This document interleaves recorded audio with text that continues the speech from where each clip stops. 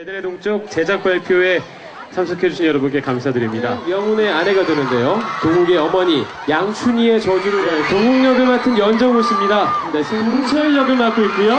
동철은 폭풍과 너무나 재밌기 때문에 꼭 보셔야 되고 월요일 화요일 밤 9시 55분에 어, 항상 TV 앞에 앉아 계셔야 됩니다.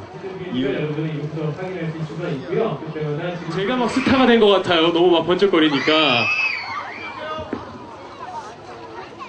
오늘 처음으로 저는 에덴의 동 쪽에서 초반에는 어, 해외에서 먼저 촬영을 시작하기 때문에 오늘 이렇게 오픈셋 하천에 오픈셋은 처음 와봤어요. 근데 굉장히 놀랬고 이렇게 한국의 60년대, 70년대 거리를 이렇게 재현하는 거 보고 빨리 여기, 여기서 촬영하고 싶다는 생각이 많이 들었어요.